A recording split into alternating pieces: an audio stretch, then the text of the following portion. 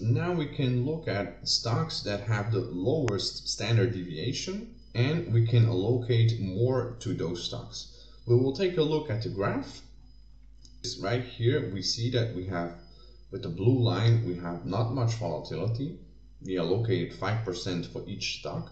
So now we're going to allocate more to stocks who have the lowest standard deviation and we will take a look if we can if you take the high and the low and this distance if we can decrease that distance with our new orange line.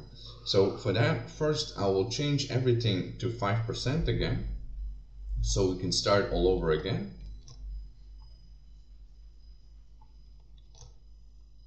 And I will run it.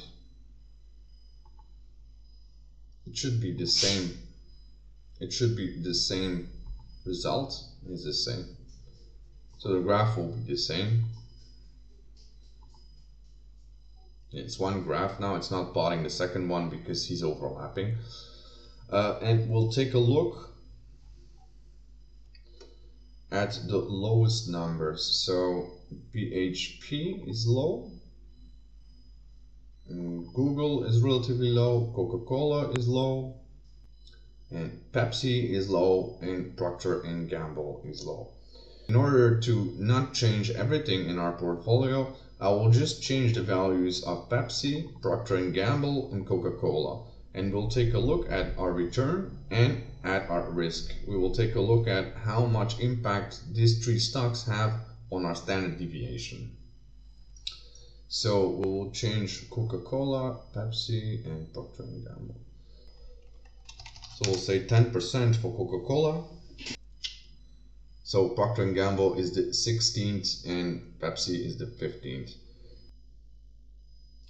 So we will locate 10% to Pepsi and 10% to Procter & Gamble. And now we have to change yet. Now we have 15% um, on plus. So we have 115 right now.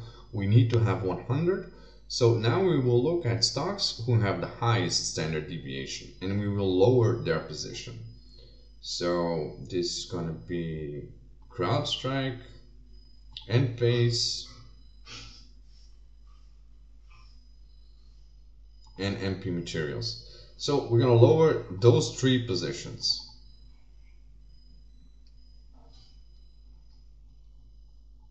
So CrowdStrike is number four in our list. So we'll say more. We will allocate 1%. And Enphase is the seventh one. So we will also allocate 1%. And MP Materials is the 11th. So we will allocate 1% for MP materials. Now we have yet 3% we have to change because we kept one. So we still have 103%.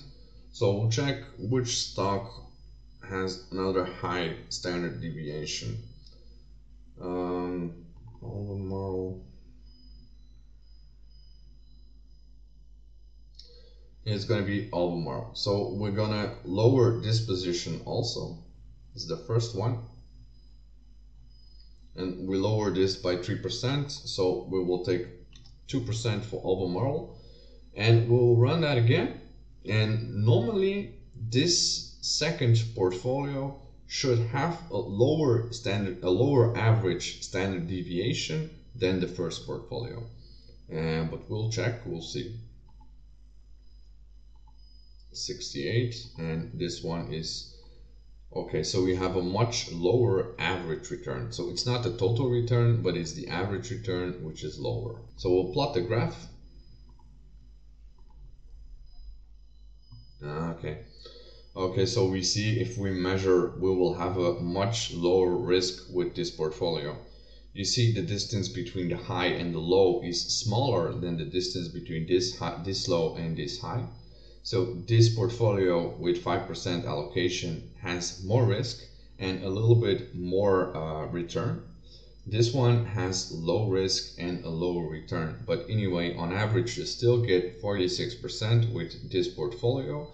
While with this one you will get 60%, but you can have much more, you can expect much more volatility in your portfolio.